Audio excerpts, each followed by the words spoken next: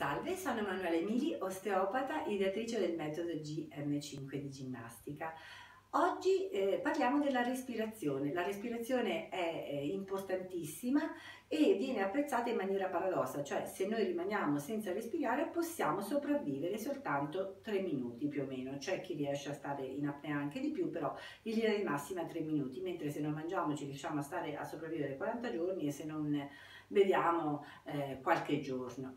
Eh, la respirazione che cosa fa sul nostro corpo? Ottimizza le funzioni del corpo fisico perché fa funzionare meglio tutti gli organi, del corpo energetico perché attraverso la respirazione fluisce l'energia nel corpo e quindi si possono anche rimuovere i ristagni di emozioni distruttive con la respirazione e ottimizza le funzioni del nostro corpo mentale. Quindi con una sana respirazione corretta la nostra mente lavora in maniera più armonica, lineare e funzionale.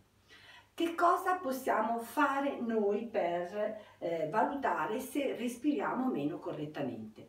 Un esercizio molto semplice e molto utile. Pronunciamo una vocale inspirando, cioè prendendo tanto fiato profondamente e buttando fuori gradualmente tutto quanto il fiato e vediamo quanto tempo dura questa espirazione, questo suono che emettiamo.